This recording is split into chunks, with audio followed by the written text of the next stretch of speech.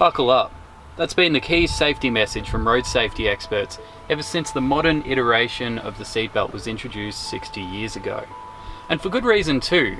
The three-point seatbelt has saved more than a million lives since it was introduced in 1959. An engineer at Volvo developed this design in the 1950s, so why does every car in production choose this exact type of seatbelt? How did this life-saving piece of safety equipment come to be? And why was this chosen above all other designs and made standard for cars around the world? Keep watching to find out, and don't forget to check out our sponsor, Fred. More info in the description. Seatbelts aren't a new invention. They've been around for more than a century, with the two-point lap belt, the same ones that you see in the back of older cars or airplanes, they were invented in the 1900s. In the first half of the 20th century, safety in cars was mostly an afterthought, and these belts were mainly designed to just keep people in their seats if there was a crash, and often they did more harm than good. In the early days of automobiles, people were fairly reluctant to take up seatbelts.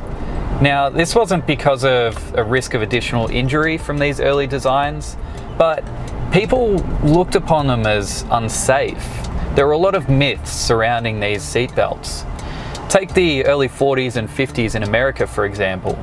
A few car brands decided to install these seatbelts as standard safety features. And people thought that these cars were inherently unsafe because of them. They thought that these car brands installed these seatbelts because they had design flaws and without them, these cars would be dangerous. There were other myths surrounding belts like uh, if you were to be involved in a crash and you were belted up and secured in the car, you would get trapped and the car was at risk of catching fire and because of that you could potentially die. But then this guy came along, Nils Bohlin.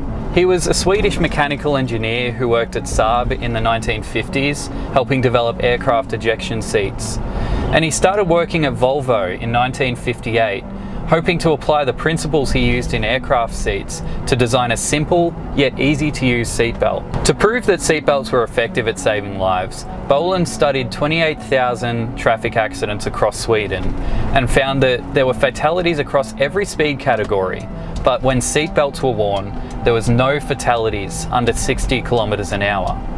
Also, if the passenger compartment remained intact and the passengers were wearing seatbelts, there weren't any fatal injuries.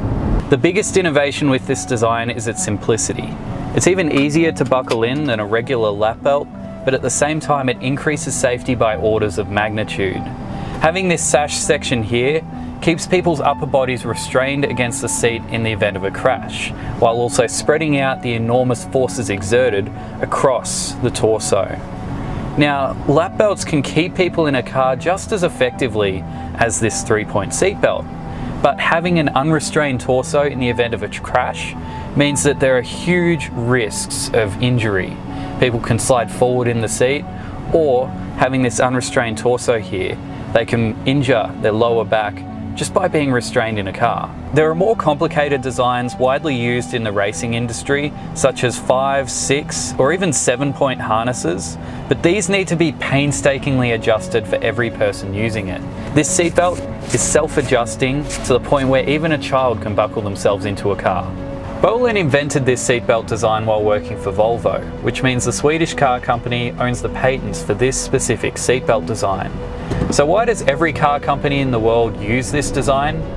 Why did they open it up to their competitors to use? You might have heard this story on the internet somewhere about a senior executive at Volvo or even Bohlin himself having a child die in a fatal car accident where seatbelts weren't installed in the car. And this is the reason why this invention is public domain. But there's no evidence to say that that's true. The reality is that Volvo is a company that's guided by safety principles.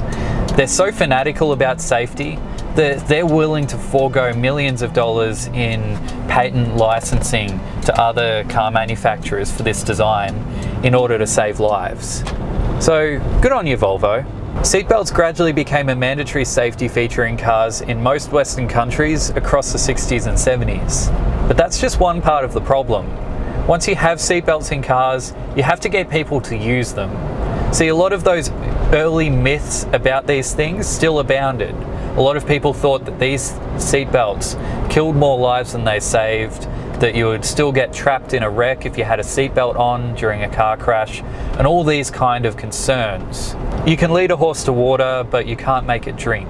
Unless, of course, you make a law saying that horses have to stop at every single waterhole and drink.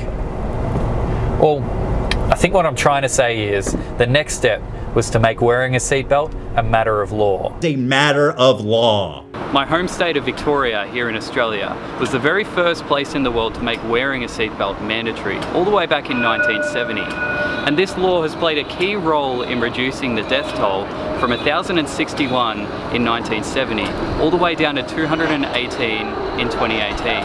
A lot of places around the world still lack comprehensive seatbelt laws, particularly for rear passengers.